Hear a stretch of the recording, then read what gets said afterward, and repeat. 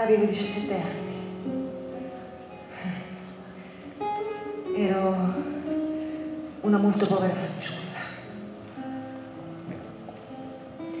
Non c'è nessuna tristezza ad essere poveri quando è molto giovani. Mia madre mi diceva sempre che mi sentiva ridere e cantare e che questo la consolava, ma io non cantava. Mia madre cantava e mi rapiva quando cantava e mi portava in cielo quando cantava con una vocetta fresca fresca come una fontana. Avevo 17 anni e fuggii di casa per fare il teatro e non lo sapevo che cos'era il teatro. Non l'avevo visto mai perché tanta gente non lo sa, sapete, non ci va al teatro, che è un mondo magico, un mondo antico, un mondo meraviglioso fatto di sogni, di regole, di sudore, di sacrificio, di coraggio e di bellezza. E sarebbe bello che tanta gente abituasse i propri figli ad andarlo a vedere quel mondo che sta qua. Io non lo sapevo. Ero stata chiamata quando ero piccola e andavo all'asilo, quando ero molto molto piccola, dalle suore e mi volevo fare solo perché, perché credevo in quel Cristo che mi rappresentava l'assoluto della vita la libertà del cuore e dell'anima. Ah, e non ebbi poi il coraggio di farlo. Ma quando ero piccola, quando facevano le recite nella scuola, mi sceglievano, a me, a altre bambine, e mi sentivo scelta, mi sentivo chiamata, mi sentivo vocata. Vocata è, che è un termine latino, vocazione si chiama, quella cosa che senti, che ti chiama, che tu senti come una necessità non puoi fare altro. Quando ero piccola non lo sapevo, però mi sentivo speciale quando mi chiamavano.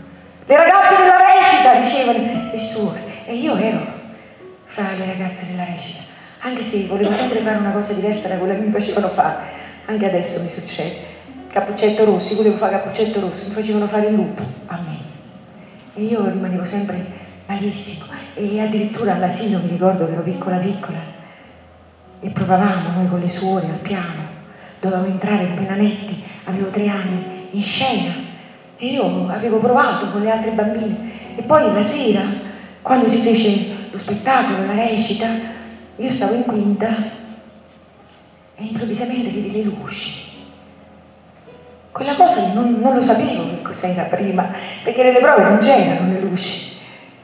Quella cosa che disegnava diversamente le cose ti faceva entrare come in un mondo fatato, diverso. E allora mi fermai in quinta, spaventata, non sapevo neanche che cos'era davanti a me. Una suora mi diede una spintarella e entrai così a fare il nanetto da piccola. Ma mai avrei pensato di fare l'attrice, mai. Ero troppo timida, ero troppo inquieta. Ma quando per caso un giorno mi ritrovai in un teatrino di quartiere non perché volessi fare l'attrice, ma qualcuno mi aveva detto che là si faceva il teatro. E io così per curiosità entrai, vedi, vedi il teatro, sapete, vedi, era piccolo, povero questo teatro, piccolino. Da allora li amo molto, i teatri piccoli e poveri, con le sedie di legno. Un palcoscenico in fondo, dove qualcuno faceva qualcosa che non so cosa fosse. E vedendolo, mi sembrò che qui, lì, ho detto qui perché adesso ci sto, lì, su quel palcoscenico, ci fosse la libertà. La libertà che nella vita non c'è. La libertà che è un grande privilegio che abbiamo noi artisti di poter vivere in questo cerchio magico che si chiama palcoscenico.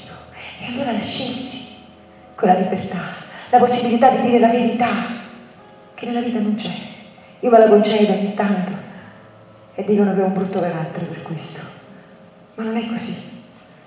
Non so se è così, forse lo è.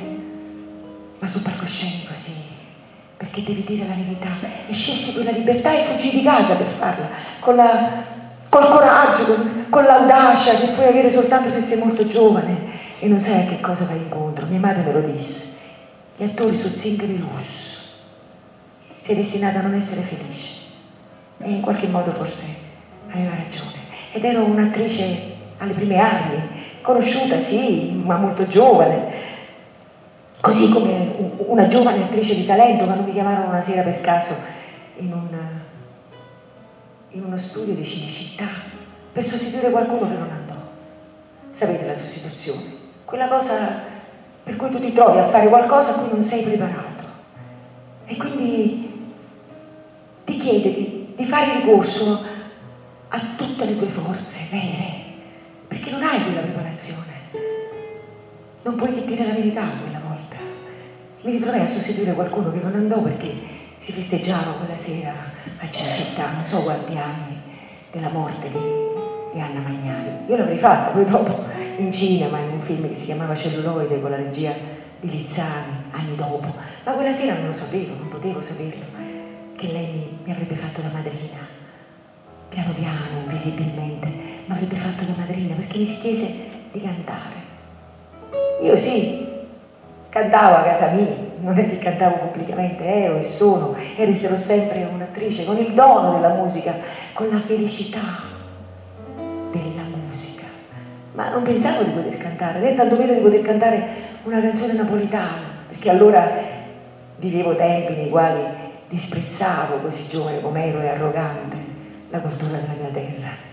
Ero stupida, ero molto giovane, ma mi si chiese di cantare una canzone napolitana, che pare lei amasse molto perché gliela cantava la nonna.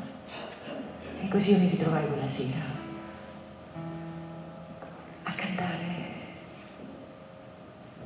Si fatta una vesta scullata Guappie Che nasce di rose Stiva miesa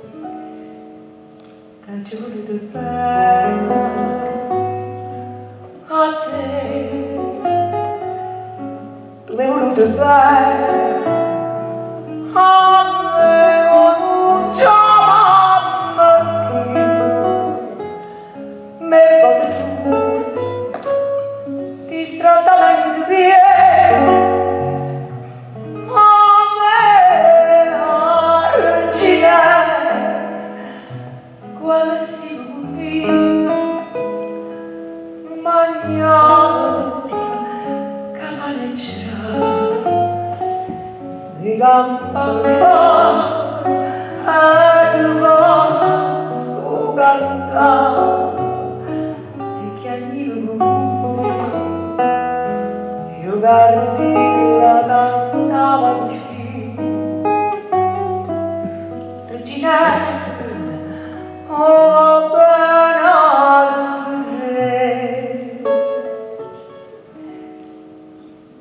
t'ho voluto bene a te. Tu